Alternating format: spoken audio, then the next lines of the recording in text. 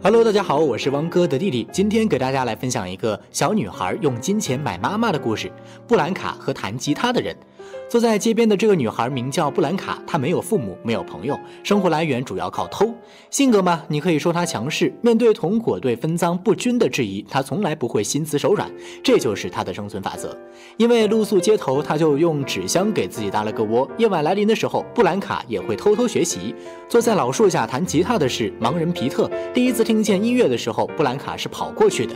对他来说，这音乐真好听。然后把自己仅有的钱给了皮特。这大概是两个人的。第一次交集，在布兰卡看来，那些有妈的孩子真的很幸福。一次偶然，他在电视上看到了女明星收养孤儿的新闻。既然大人可以买孩子，那么我也可以给自己买一个妈妈呀。为此，他更努力的存钱，甚至还想到先前的皮特。是的，他想要拿走他的钱。善良的皮特并没有说什么，只是想要他给自己留一点早饭钱。布兰卡没有再说话，转而走入了人群里。他努力的乞讨，更准确的来说是为皮特乞讨。等到他回去的时候，先前的小伙伴因为怨恨已经。把他的房子拆了，而皮特这边也因为交不起保护费，被人下令驱逐。目睹了这一切的布兰卡行动了，他拉着皮特去到了一个新城市，在那里，皮特依旧是唱歌，布兰卡也会趁着人们不注意去偷钱，因为他知道自己离那个买妈妈的三万块还差很远。突然间，他看到了一张通缉令，布兰卡又有了一次主意。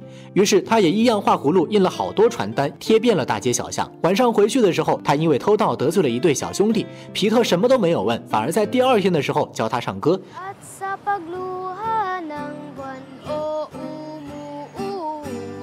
这一对亮眼的组合很快就吸引了酒吧老板。在讨价还价之后，布兰卡和皮特以每天一千三的价格入住酒吧。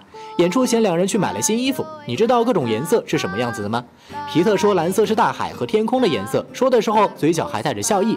实际上他从出生起就没有见过。橙色呢？橙色是热心肠的颜色，也是日落的颜色。这个回答真的好温暖。刚好布兰卡穿的就是橙色的衣服。临走前，他给皮特也拿了一件橙色的外套。渐渐的，快乐的时光越来越多。多，他们不需要在露宿街头，也可以趁着白天去外面游玩。好景不长，布兰卡的优秀引起了一位店员的嫉妒。正是因为他们的到来，自己才被赶去了楼下。他栽赃诬陷布兰卡偷钱，酒吧老板连解释的机会都没有，他只是把布兰卡攒的钱全都拿走了。就这样，布兰卡和皮特回到了露宿街头的日子。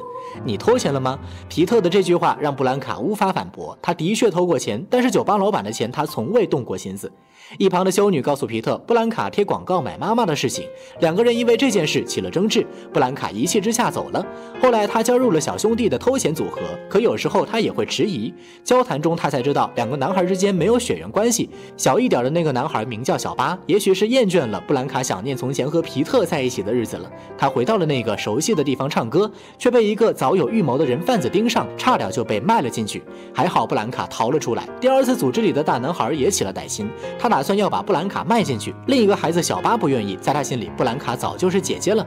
他跑遍了大街小巷。另一边的皮特其实也一直在找布兰卡。三人会合之后，大男孩也回来了，他不愿意放走布兰卡。小巴不停的求情，他说自己不要手机，也不要钱，把自己卖掉也可以，只想要他放布兰卡回去。